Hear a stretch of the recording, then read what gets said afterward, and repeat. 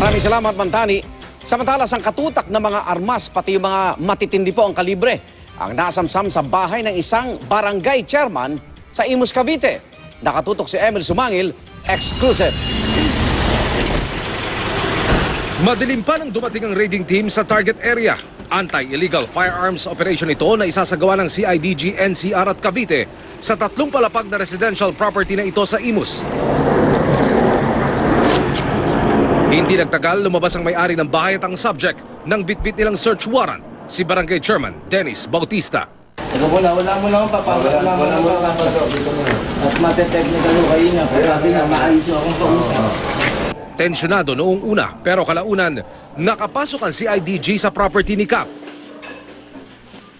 Walang nakitang mga baril sa music room sa third floor pero habang bumababa, napansin ng mga pulis ang disenyong kahoy na nakakabit sa pader sa tabi ng hagdan. Hinaharangan ito ng isa sa mga kasambahay.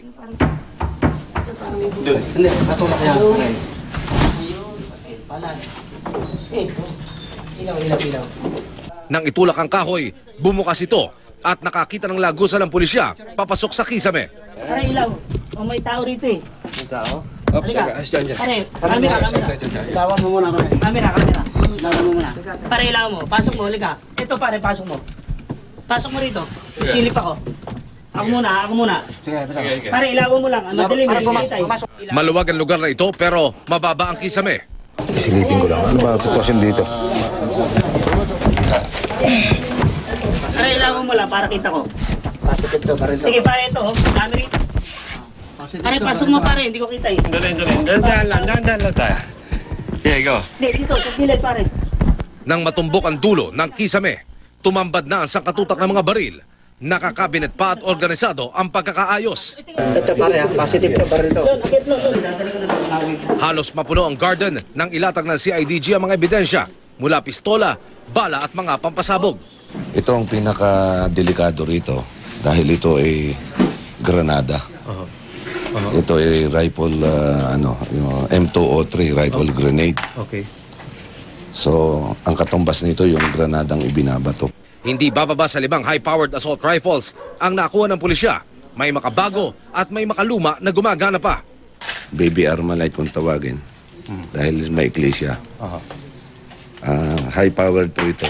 Sa ngayon, itong itong ginagamit ng mga kadete sa PMA at sa PNPA sa pagdidrill.